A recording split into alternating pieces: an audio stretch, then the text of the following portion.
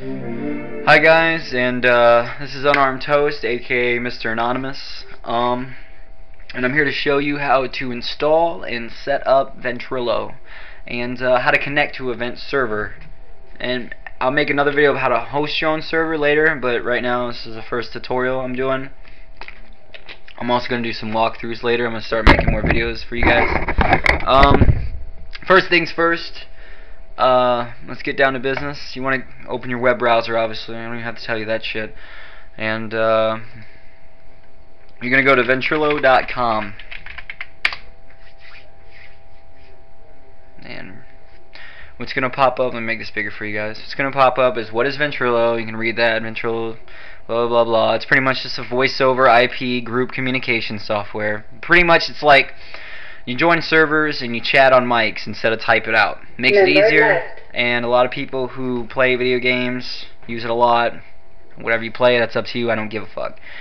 Um, it also has the latest news. You're going to go to download, and you're going to have client programs, server programs, extra third-party utilities, and beta. Third-party utilities is just for Linux, if people are Linux users.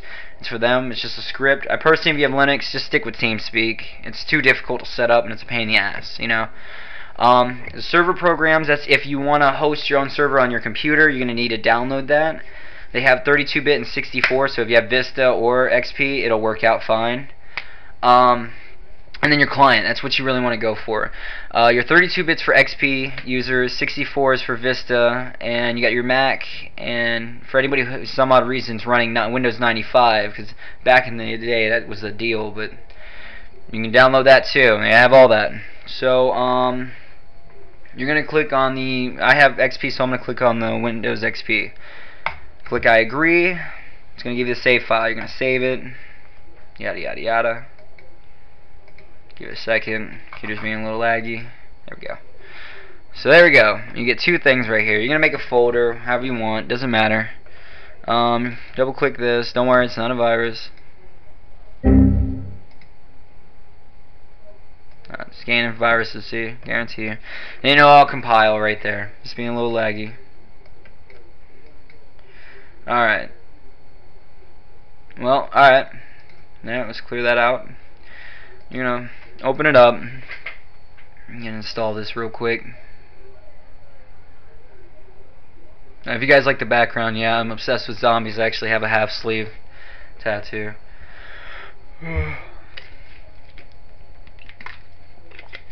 Jesus Christ, come on. Alright, of course you're gonna click run, blah blah blah. It's already installed for me, yeah. So I'm gonna click no. But for you, you go on and you install it like any other installation you ever done in your life. Everybody's installed something. If you haven't, why are you watching this video in the first place? I have no idea. Alright. So uh, you install it, set up, you're gonna get this icon right here. This this little icon. Okay, it's a fantastic icon. And uh, what you're gonna do is you're gonna don't mind that. You're gonna we're gonna disconnect real quick.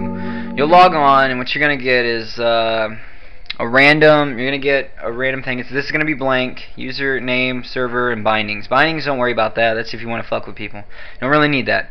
Server, username, and server is important. Okay, that's the most important thing. that's who you are and how you're gonna connect to people. Um, what you're gonna do is you're gonna come on here and you're gonna make click new. I already have a name, uh, player one, so I'm going to stick with that. I type in player 1, it pop up there, and I click OK. Alright, next thing you're going to do is you're going to click New. You can name the server anything you want, it doesn't matter. That isn't important. Just whatever makes you reminds you of the Ventrilo server. You're going to go to host, name an IP. This is my Vent's IP, vent11.gameservers.com. And then after that, you would put in the port number, whatever that is. Usually the typical port number is 3784 so but most of them are changed depending on who's hosting your Vent.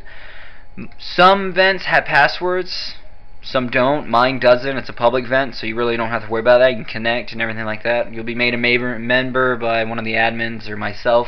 Who knows?